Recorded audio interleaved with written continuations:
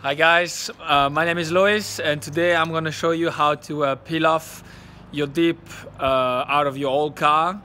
Might be uh, pretty easy as shown in most uh, dipyourcar.com videos or anything else. Um, as you notice, uh, I'm French, so I'm gonna try to show you that on camera right now.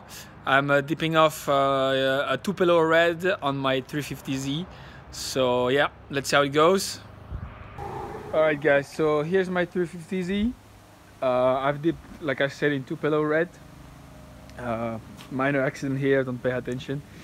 And uh, yes, I've already taken off the side pillars. Um, here's some old paint that's chipping. And so yes, the side skirts as well. I've just got some aftermarket ones that I'm gonna try to blend in with my uh, new dip. I'll let you guys know what color I will do soon. Or I'll just I'll just show you later. So yeah anyway I've just started already taking the edges off um, my wing. So here's how it goes. Just with one hand just grab it here. Just everything in one sheet. See how I'm pulling really hard. Even if I go towards here it's pretty pretty solid. And everything goes. Then of course if you want to go come back here and just take the edges off. I mean it's better if you use two hands to just take this off but yeah basically this is how you do it. Fairly easy process. Um, same thing for the door.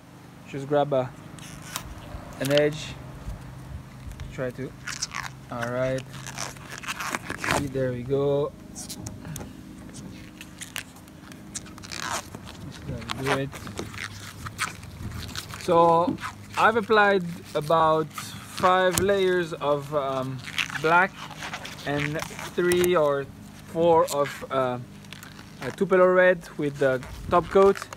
So it should be now I'm pulling very very hard see? So yeah I mean with two hands the door is gonna be peeled off. You know one sheet I don't have anybody to help me out record. So yeah guys um, fairly easy to remove it. And also like you can see there's there was some Bondo here. And let me show you on my other side pretty much the same thing.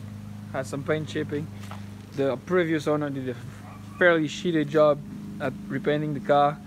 Or I don't know if it was the painter but basically yeah. See out of the Bondo everything comes out nice and smooth. Very easy. Very easy process guys. So yeah.